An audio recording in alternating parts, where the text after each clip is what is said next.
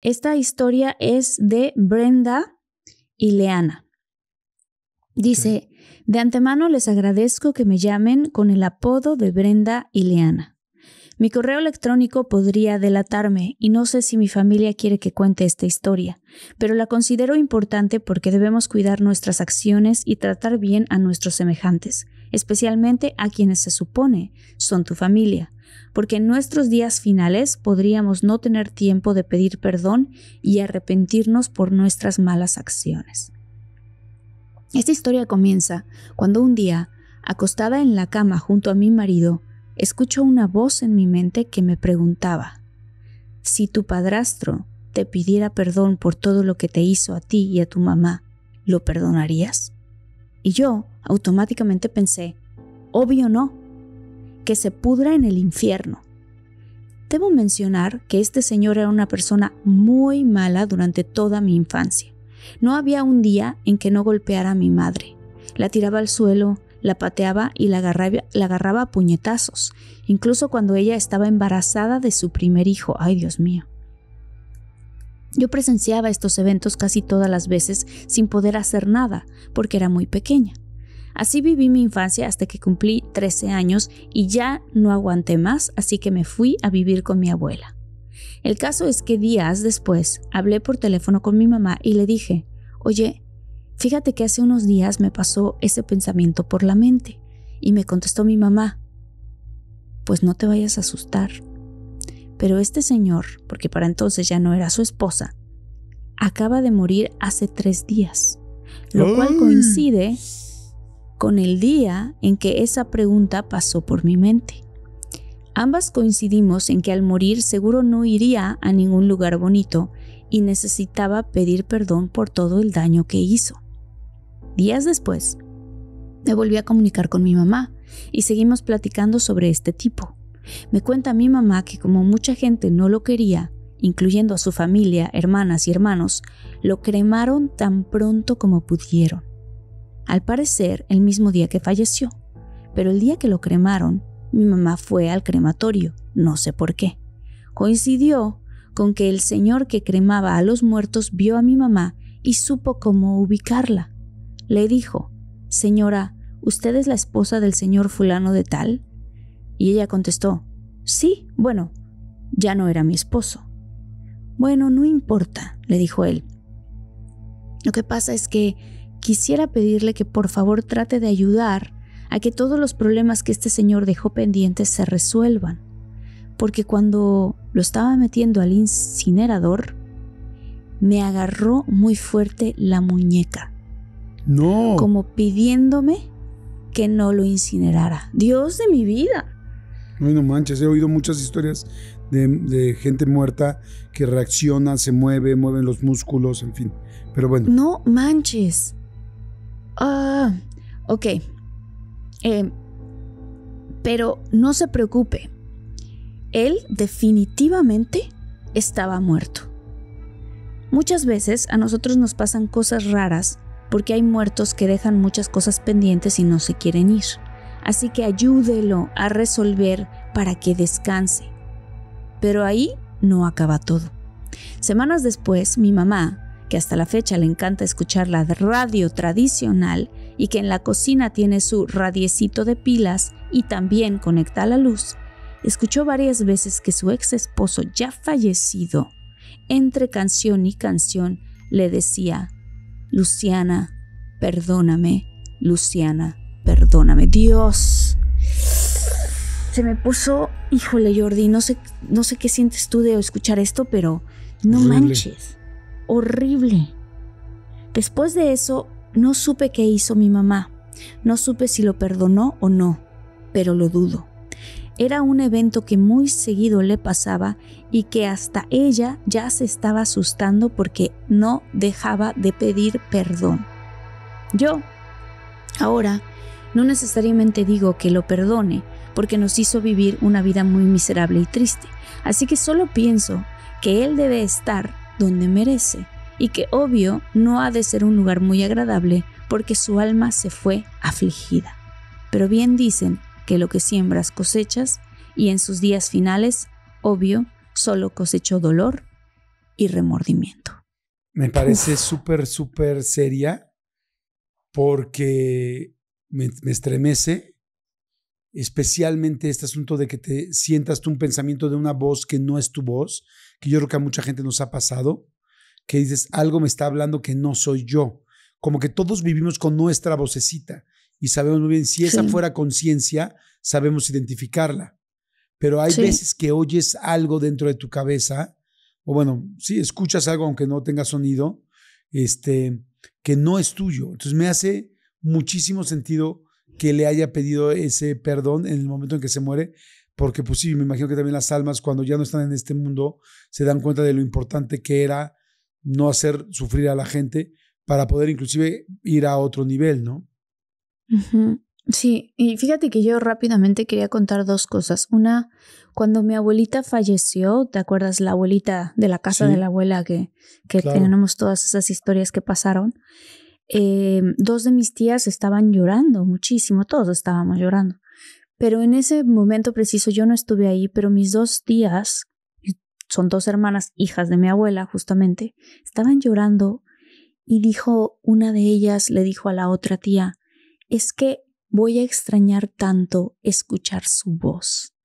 Y las dos, al mismo tiempo, en esa casa, por cierto, al mismo tiempo las dos escucharon la voz de mi abuela que les dijo, vivo en sus corazones.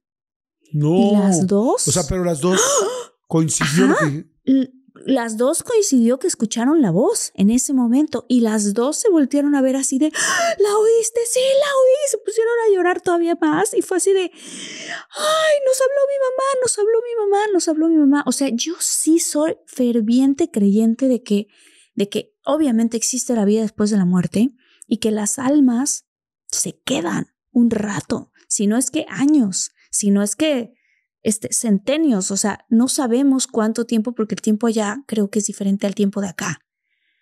Pero sí se quedan y sí te pueden estar mandando mensajes, advirtiendo de cosas, en este caso, em, como la historia de, de, Brenda, pidiendo perdón. O sea, ¿no crees, Jordi?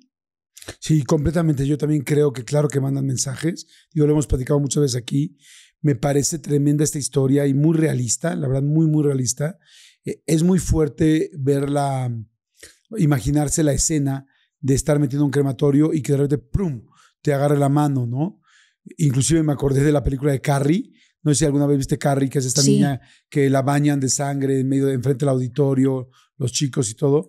Y en la última escena, eh, alguien le va a llevar ya flores este, eh, al, panteón y está pues ya la tumba así de tierra donde todavía no han puesto cemento y va a poner las flores y en el momento que pone las flores sale la mano de ella y le agarra la, le agarra la muñeca. Entonces ahorita pensé mucho en ese final y me parece muy fuerte porque fíjate que hace poquito acabo de hacer un reportaje, un programa de televisión ahí en Unicable que el tema se llamaba, estuvo buenísimo, de hecho me gustaría que lo hiciéramos aquí, ya se lo había creo comentado también Armando, que se llamó, le pusimos el negocio de la muerte al tema y, y había mucha gente de diferentes eh, ámbitos de la muerte, ¿no? Desde la gente que vende los ataúdes, la gente que, los dueños de las funerarias, este, mucha gente que, que, tiene que ver con la muerte. Pero uno de ellos era la persona que, que arregla los cuerpos, no que maquillan los cuerpos. Bueno, había una maquillista y había una persona que es el que los cose, el que, sobre todo cuando hubo accidentes fuertes, los ayuda a que el cuerpo no se vaya a ver tan mal, que les ponen estas... Eh, tapones eh, de, algodón en la nariz. Me explico por qué se les ponen los tapones, porque se empiezan a salir los fluidos. Entonces, este, en fin, el cuerpo deja de funcionar. Entonces, este, y él me dijo, este, le pregunté que si alguna vez había visto algo extraño, tal, y me decía que lo único que sí le ha pasado en dos ocasiones, ¿eh? después de 30 años o no sé cuántos años, más de 30 años de trabajar en estos anfiteatros o en estos lugares, es que oye que se está despidiendo el alma de él, o sea, de esa voz que, que, no, le, que, no, es, que no es su conciencia y que le está diciendo algo como su última despedida, como que sienten algunas personas que fallecieron, algunos cuerpos o algunas almas, que, que la última persona con la que están teniendo contacto antes de que los este, terminen de arreglar o en esta sala son ellos. O inclusive me decía, hay gente que se nota que todavía no sabe que está muerta y que me han preguntado ¿soy yo el que está ahí? ¿Estoy muerto?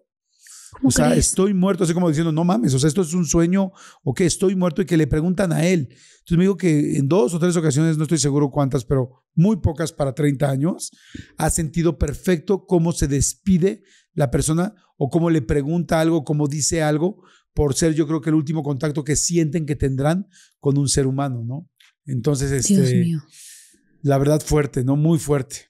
Oye, Jordi, yo Pero quiero bueno. contar rápidamente porque muy breve, pero em, fíjate que Armandito, nuestro productor, el otro día le pasó cuando él estaba editando uno de nuestros videos paranormales.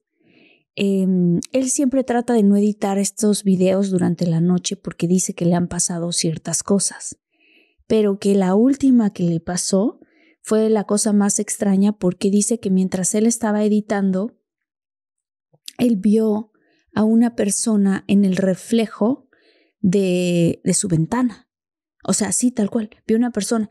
Y lo que ahorita me comentaba él en el chat es que la persona se parece mucho al de la imagen, nada más que en este caso la persona que él vio no tenía un sombrero.